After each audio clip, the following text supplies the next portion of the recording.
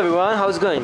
Today uh, I am going to show you something else that I mean how you can connect your you know uh, stereo headset Bluetooth headsets uh, to your phone and you can I mean able to I mean uh, listen your music and everything else anything else. So just click on the menu and firstly um, go to setting and just go to wireless and network and Wi-Fi setting or uh, Bluetooth setting okay? So Bluetooth setting we want Bluetooth on and you need to first of all right now I haven't uh, headset uh, my headset is my brother is using.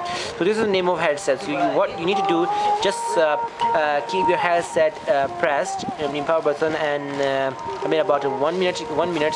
So it will indicate it, it will you know blink like I mean blue or blue and red so keep the blue and red uh, to be blinking and uh, then it will then then your phone can find the headset then click on the pair so I don't anything but I have a headset then just keep it uh, I mean uh, it's, it's uh, in another room.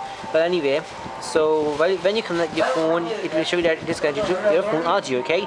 So when your phone audio just go to and uh, I mean go to your app store and type uh, you know a BT mono or anything. So what I'm going to do then uh, I'm going to uh, type BT mono or Android uh, BT mono. Go to BT mono and then uh, install this one.